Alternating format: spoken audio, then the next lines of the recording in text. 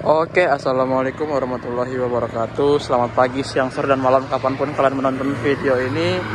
Kali ini saya berkesempatan hunting-hunting lagi uh, di Hamin 3 Lebaran.